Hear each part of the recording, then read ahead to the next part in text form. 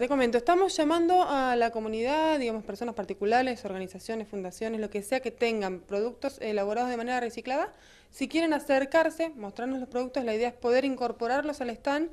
Eh, no contamos con un espacio muy grande, pero bueno, queremos poder hacer una muestra de productos que se hacen también, digamos, de manera este, reciclada.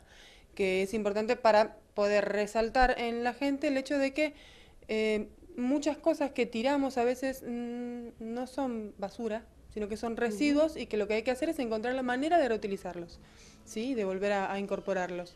Bien, así que pueden pasar por la Secretaría de Medio Ambiente en la municipalidad para eh, ver que, digamos, traer el producto que hagan se pueda dar a conocer. Claro, sí, exactamente, exactamente. Pueden ser productos de distinto tipo, pueden ser productos, digamos, que, que los usen para, para, venta o como un emprendimiento que hagan ellos propios por el solo hecho de recuperar materiales, no es ningún problema. este, se pueden acercar a la Secretaría de Ambiente o pueden llamar al teléfono 4483-565.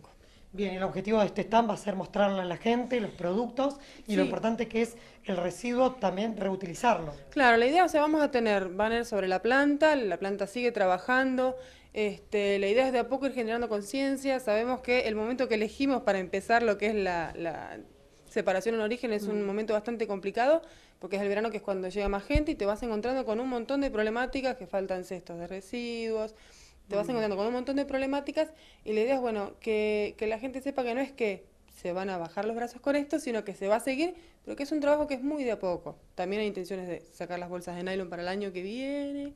Entonces, son todos procesos que son lentos, de a poco, y pedimos la participación, digamos, de toda la comunidad, este, de los comerciantes, que los comerciantes la verdad que tuvieron una una apertura increíble este, y llaman, preguntan, eso es la verdad que es buenísimo.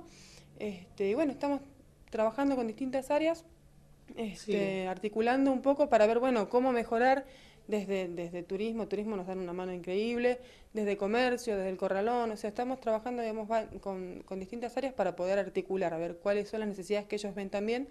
Este, por lo que es ambiental es, atraviesa todas las áreas, así que es importante. Ana, también es importante que los residenciales puedan educar al turista en esta época para lo que es este, la clasificación de la basura, que de a poquito lo vayan instalando, ¿no? Claro, claro, de a poco, de a poco. este, algo que se ve, por ejemplo, en las zonas rurales es que eh, en zonas rurales todos tienen muy incorporado el tema de lo que es el compostaje. Eh, prácticamente no llegan residuos orgánicos de lo que son eh, áreas rurales.